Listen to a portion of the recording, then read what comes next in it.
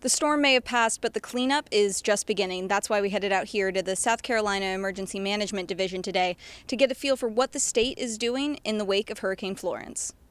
Here at the South Carolina Emergency Operations Center, it's all hands on deck. The past few days here have been very busy at the state's Emergency Operations Center. SCEMD Chief of Public Information Derek Becker met with us earlier today to take us through what the division did leading up to Hurricane Florence and how the storm is still impacting South Carolina. We've been trying to predict, or, or as accurately predict as we can, where the flooding is going to go after Hurricane Florence. Flooding is the chief danger in South Carolina now, and Becker says water in some regions could reach dangerous levels. We are looking at potential evacuations, maybe 30,000 people, um, 6,000 in Georgetown, 24,000 in Myrtle Beach. We're just not sure yet. And for those in the Pee Dee region that could be seeing flood evacuations, Becker has some important advice. Now's not the time to, to waste time. You've got to be able to act and move immediately if you're asked to do so. So even though the storm has passed, we're not out of the woods yet. People's lives are still in harm's way. The fight against Florence continues for South Carolina.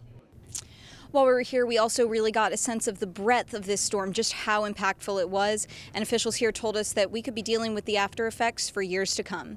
In Columbia, Grace McKenna, Carolina News. Back to you in the studio.